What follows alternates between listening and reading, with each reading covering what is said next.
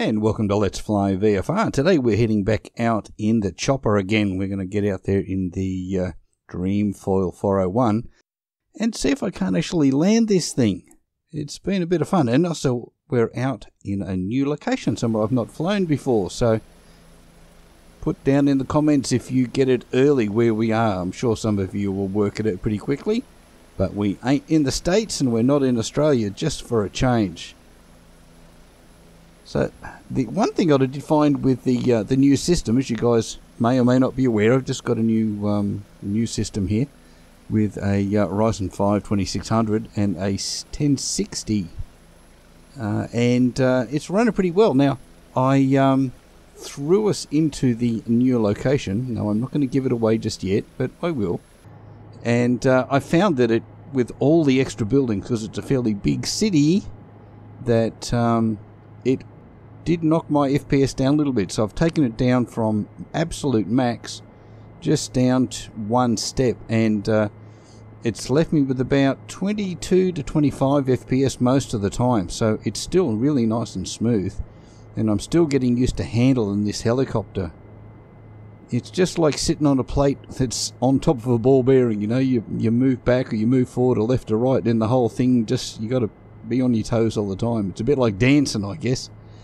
It's uh, but it is a lot of fun. So if you haven't flown choppers, guys, you've been fixed wing or you've been um, flying the big tube liners around, try this for a bit of fun. Really, it is uh, it is quite a challenge. And to date, I haven't had what I would call a decent landing as yet. So just going to do a couple of quick circuits, and then I'll in the middle of this I'll give away where we are as well, and you can have a look at that.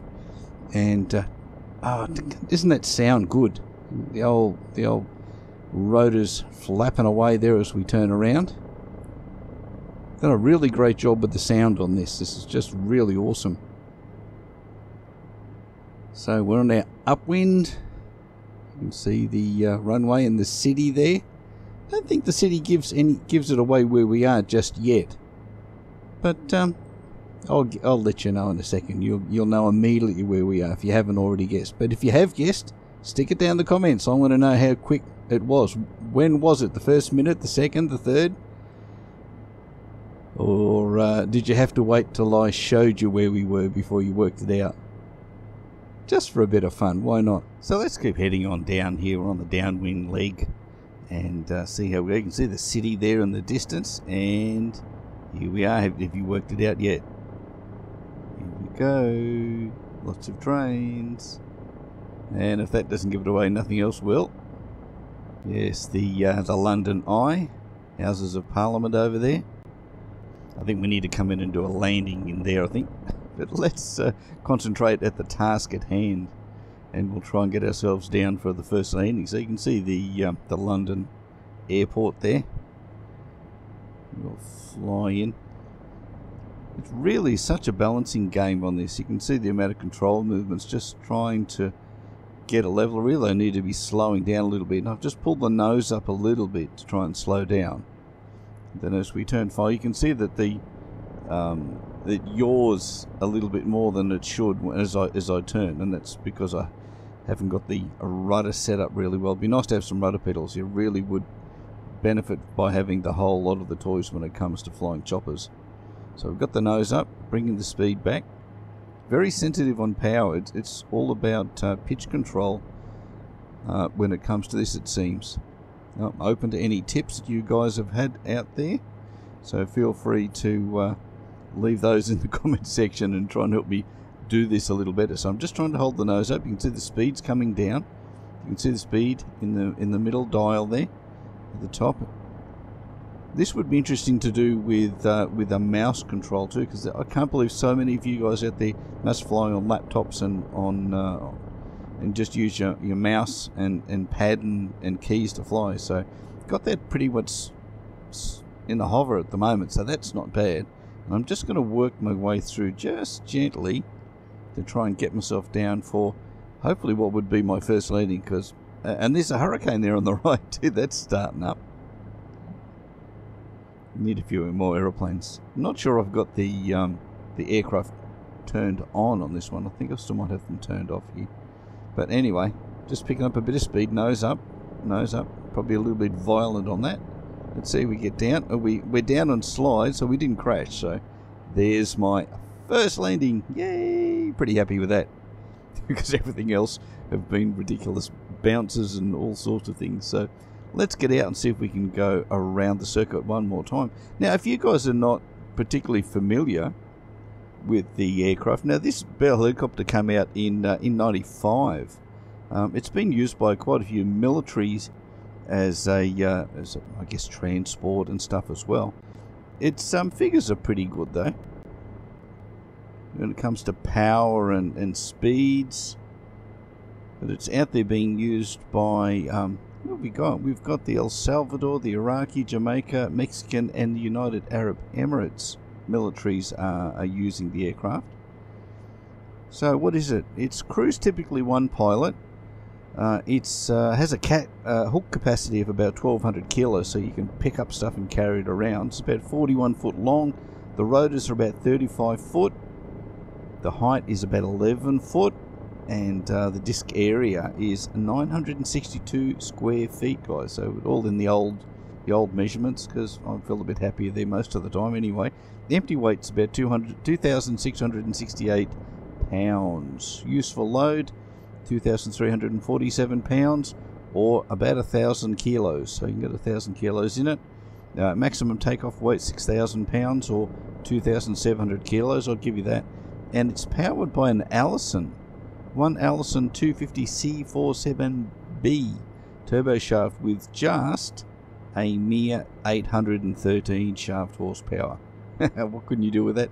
Uh, poked into your Ford Focus, eh? 8,000 horsepower or 606 kilowatts, guys, that is. So uh, it'll do about 140 knots as maximum speed. Cruise is just below that at 133. Range is not too bad for a chopper, too. Uh, 324 nautical miles.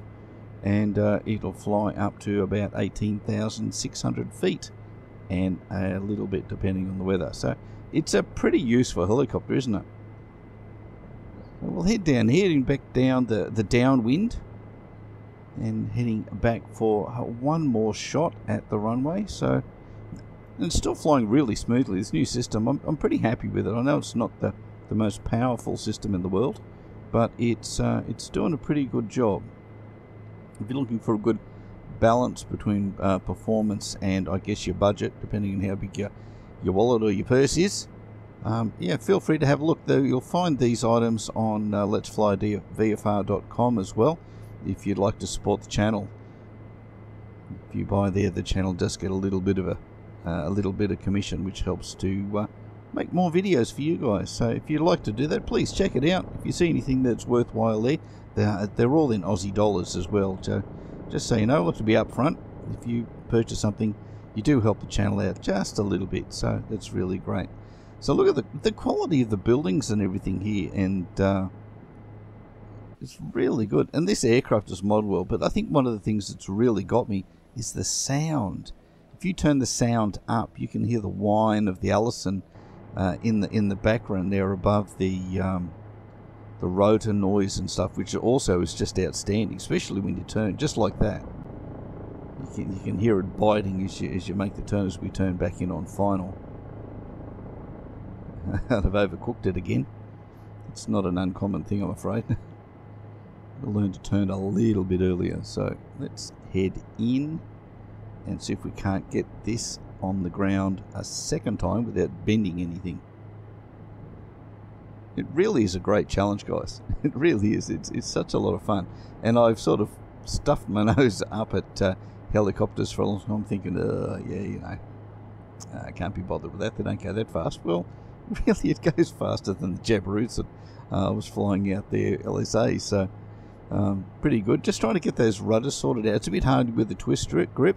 I, I would really love to have my rudders here, but uh, they're still left at my other house in Thailand, so they will remain there for now.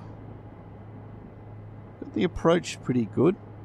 Just getting the nose up, killing that speed. Don't need to do very much with the power. Yeah. Don't forget to subscribe, guys, please. If you are not currently subscribed, love to have you on board. We got videos out currently every week and there's quite a few on the channel so feel free to scroll back and look at the old ones there's plenty there just working on the hover here just trying to get it steady And then I just want to walk my way in just gently and uh, put us down there, hopefully, again in one piece. I've had some spectacular crashes. Uh, this thing uh, does some really strange things if you do get it wrong, though. It bounces and bounces and bounces. It's like it's on a uh, on a trampoline. I think that might need to be sorted out a little bit, guys, out there. But uh, but other than that, the flying is just beautiful. So just oh no, hang on. There's a jet coming the other way. Someone's uh, they didn't tell me they'd move the runway. Okay, so we'll slip off to the side here, which wouldn't be uncommon for a helicopter anyway. And hear those rotors. That's really good. And down again. Hey, that's two out of two. Really happy with that. So thanks for coming along for the ride. Hope you enjoyed the video. Uh, feel free to watch some of the other ones there. And uh, I look forward to catching you back here at Let's Fly VFR again sometime uh, very soon. I'll catch you again. And don't forget, leave me your comments on how quick you worked out where we were. See you soon. Bye.